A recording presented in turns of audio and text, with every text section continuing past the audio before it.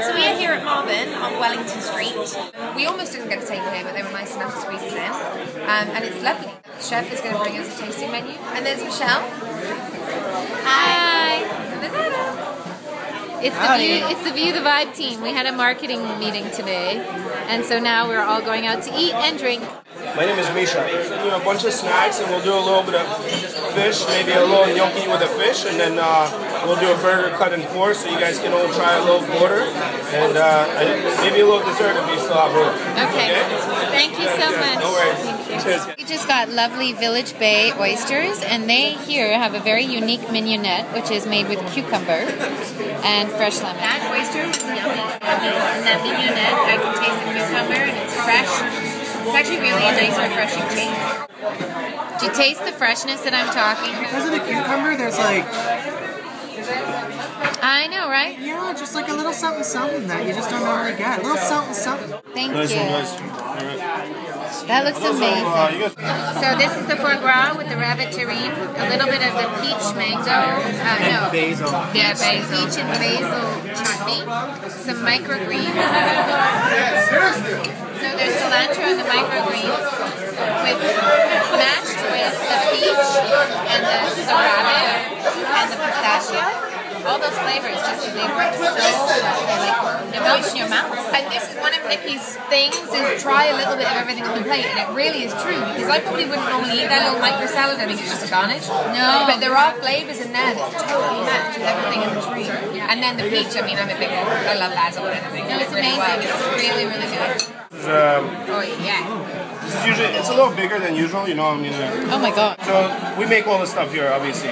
We got a little bit of chorizo, um, venison uh, terrine with um, cured pork tenderloin in the milk. Uh, straight pastrami. It's uh, beef brisket that's been brined just over a week, and then um, yeah, and then we smoke it for about eight hours. This is a pepperoni made with beef and red wine, and then uh, it's a little experiment. It's a Lebanese bologna.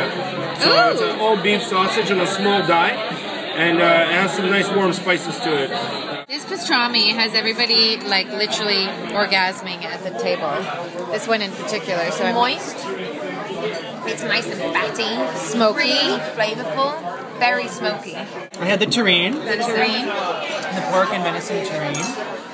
It's awesome. Is it? That's pretty much all I need to say. It's amazing. It really is. Kraut, gravlax, lots of cilantro, With daikon, a little bit of teriyaki, a cilantro yogurt, and the uh, celery. no cucumber. Is it cucumber? Cucumber. It was excellent. It was really, really nice. Um, I would. My only thing. I wish I had more teriyaki. Oh! But it's very This is a chicken Caesar. small, right? Oh my god! I just had a bite of this deliciousness. That's the um, You guys definitely. chicken with the Caesar salad or chicken Caesar. Holy bloody hell, that's good. That's freaking fantastic. Yeah. They cook it sous vide style again, right? And then they, he said he what, they cut it and then they deep fry it after it's been chilled. Hazelnuts on top. Like that is innovation. You don't see a lot of places where Yes. they really innovate. Yes! I agree. This is a actually. standout dish. How's the beet salad? Delicious. Goat cheese and that dressing is to die for. Yeah. I love beet. I like that they put, look, it's, it's a really solid beet salad. And I like that the, you normally they crumble the goat cheese on and he like Yeah. whips his goat cheese No, in he his whipped dressing. it with like a ton of goat cheese in there. And there's a shed load of, of uh, beets in there, which is amazing. the burger. Everybody's been talking about the burger. Ever since we checked in here, all the tweets are best burger in Toronto, best burger in Toronto. Yeah, so I'm everybody. I know. I'm it. It really actually is. excited. It's so good. Um, there's braised meat wrapped inside of this burger. It is Really? so tender and so juicy and so Yeah. flavorful. I didn't want to talk about it because I don't think, yeah, you can't do it justice. You have, you have to Oh, just yeah? eat it. Yeah, you really, really do.